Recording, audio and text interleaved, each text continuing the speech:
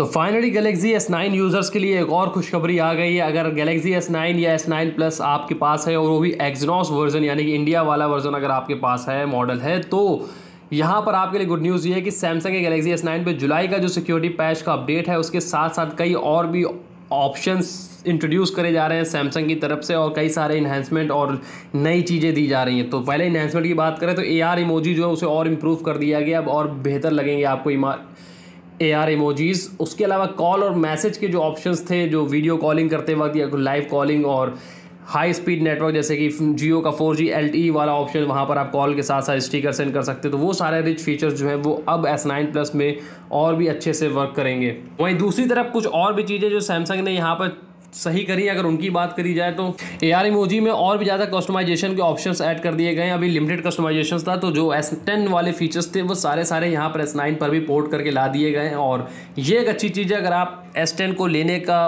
Mode बना रहे थे तो यहाँ पर सॉफ्टवेयर वाइज जितने भी ऑप्शंस एस टेन में थे, लगभग लगभग सारे एस नाइन प्लस और एस नाइन पर सैमसंग अब रिलीज़ कर चुका है और जो बाकी थे वो भी रिलीज़ कर रहा है धीरे धीरे तो एस टेन लेने के लिए सिर्फ़ हार्डवेयर के अलावा और कोई दूसरा ऑप्शन नहीं बनता है, अगर आप उसकी तरफ़ स्विच करना चाहते हैं। तो धन्यवाद आप सभी का इस वीडियो को देखने के लिए। अपडेट जो है वो अगले एक हफ़्ते के अंदर रिलीज़ हो जाएगा। अभी ये अपडेट जो है वो जर्मनी में रिलीज़ किया गया है, पाँच सौ के आसपास का ये अपडेट है। और उम्मीदें हैं कि अगले एक हफ़्ते के अंदर ग्लोबल रिलीज़ इसका हो जाएगा और इंडिया में फिर 10 से 12 दिन या 15 दिन के अंदर ये रिलीज़ हो जाएगा जुलाई के अपडेट के साथ। अगर अपडेट के बिल्ड वर्जन को देखना है तो नीचे डिस्क्रिप्शन में लिखा हुआ वहाँ से आप मैच कर सकते हैं। फ़िलहाल अभी जितने भी इंडियन वेरियंट हैं, उन सभी पर चल रहा है जून का सिक्योरिटी पैच। जुलाई का अपडेट जो बहुत जल्द रिलीज़ हो जाएगा।